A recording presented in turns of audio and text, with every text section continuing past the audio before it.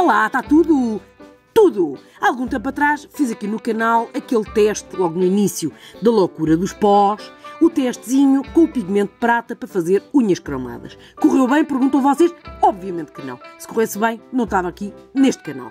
Correu mal e porquê? Porque eu apliquei tudo muito bem, fiz tudo muito certinho. Ele realmente na unha ficava muito engraçado e coisa e não sei o quê. Mas qualquer top coat que se aplicasse, mesmo aquele de UV e coisa, nhanhanhã, ficava uma grande caca. Ele derretia-se e desaparecia e. Ah, ficava horroroso.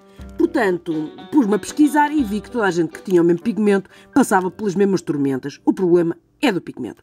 Entretanto, disse eu assim: bom, vou dar uh, mais uma chance à pós-alhada e então encomendei estes da Born Pretty, que à partida são coisas muito mais fiáveis. Recebi hoje, portanto, o prata e o ouro. Reparem como é fofo, que vem cada um numa embalagem toda holográfica. O prata vem no prata, o ouro vem no ouro, muito fofo. Abrindo as embalagens, vem aquele aplicadorzinho em tipo.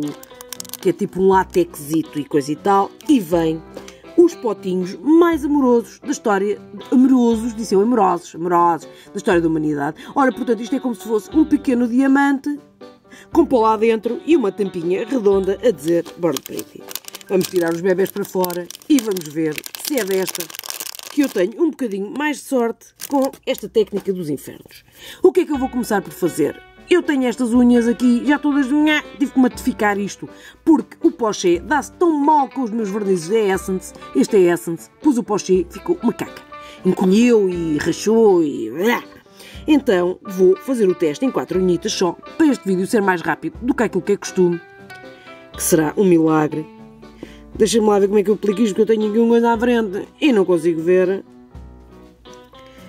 Vamos aqui pôr então esta babazinha que é aqui é o vernizinho V top coat o V no wipe portanto é daqueles que não ficam gosmosos quando se acaba de curar na lâmpada porque a maior parte vocês curam na lâmpada e depois tocam naquilo e aquilo parece uma ranhoca uma coisa horrorosa que tem que se andar a limpar com o cleanser e com o Njorndens e com essas porcarias todas, interessa muito pouco. Este não, este é plug and play, é, acaba de sair da luz e está pronto para a rambleia.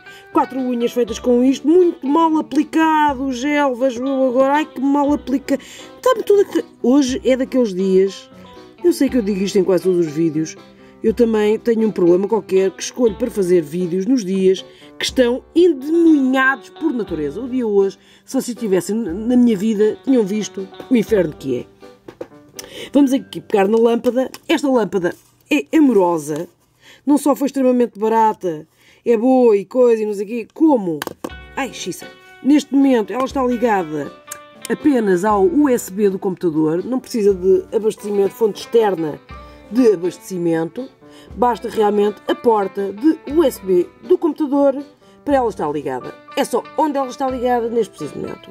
Estou aqui a fazer o chamado em chorizos nos 30 segundos que ela demora a cozinhar a unha da bebê. Blá blá blá, então o tempo, é? Parece que o frio lá chegou. Pois, também já estamos no tempo dele. Aham, uhum, pois, exato. Exato, 30 segundos, quem diria? Ah, bom, 30 segundos. À partida estará curado. Não antes estivesse doente. Lindo. E vamos então experimentar os pós. Abrimos aqui o coiso. Ele vem com um papelinho a dizer que está selado para nossa proteção. Eu adoro quando eles selam coisas para nossa proteção. Acho amoroso. E nós vamos tirar o selo para a nossa proteção. E aqui embaixo temos o produto em questão. Eu vou aqui fazer um zoom. O zoom, um zoomzinho fofo.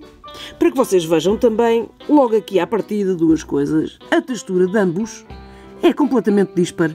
Este parece um glitterzinho, é extremamente brilhoso e é como se tivesse pequenas partículas de prata.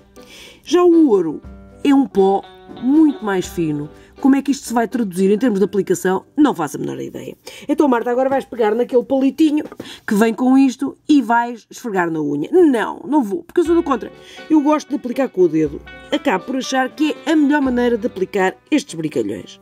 É com o dedo. Bom, iscas. Não se pode dizer que não seja reflexivo, refletivo, refletor, reflecoso. Não há dúvida. Olhem para isto. Ah, ai, ai, a torna isto agora. É o que eu digo. É o que eu digo. O dia está uma coisa por demais. Mais uma coisa que eu, eu lá está, está por demais até neste, neste quesito. O coisa está grosso, não está bem seco. Reparem como está a coisa. Ai meu Deus. Não está bem seco, então não dá para esfregar isto como deve ser, que ele fica sempre meio embotado por baixo. Ai, os Deixem-me só aqui. Antes que eu me irrite de vez, dar-lhe mais uma curadela rápida para ver se, se a superfície fica mais rija para aplicar o pigmento. E desconsiderem, desde já, a primeira unha. Ainda bem que eu fiz quatro unhas, assim ainda me sobra uma para o pigmento prata. Mas isto, ai, está tão irritante, tão, irritante. Ai, mulheres, no supermercado foi uma miséria.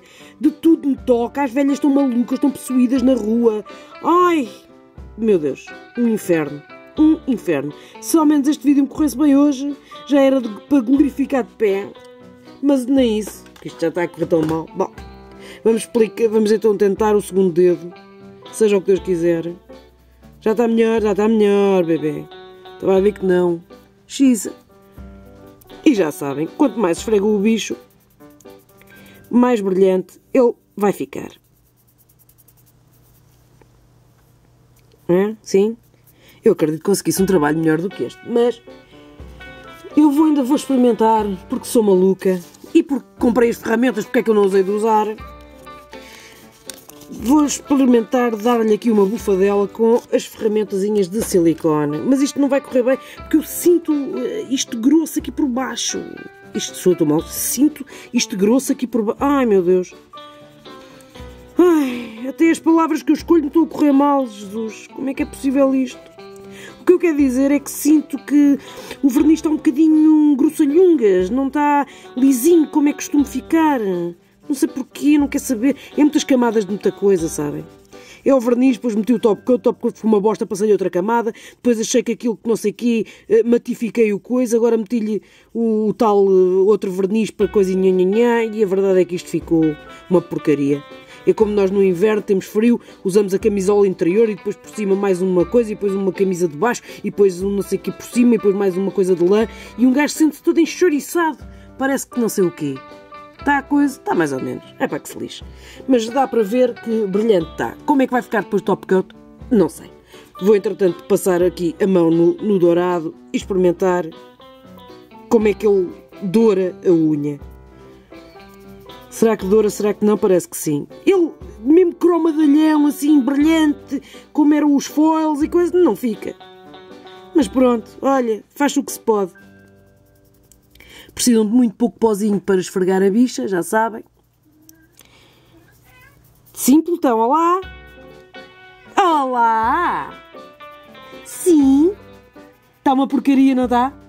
Estou ali, ali na televisão, a TV a Conpanha. Deve ser um novo acordo ortográfico. A Conpanha. Meu Deus. Bom, já esfreguei, deixa de esfregar, deixa-me lá então passar com uma coisa neste para ver se, se melhora ou piora ou desgraça isto tudo de uma vez. Não melhora, não. Só acho que retirou um bocado de coisa e em vez de ouro ficou um bocado acobreado, com certeza. Então a gente pega no coisa, toma lá disto outra vez coisa. Ai, Marta, mas ficas com a pele dos dedos toda cagada, não usas aquela coisa, a barreira líquida e o látex. Tenho mais que fazer, pá.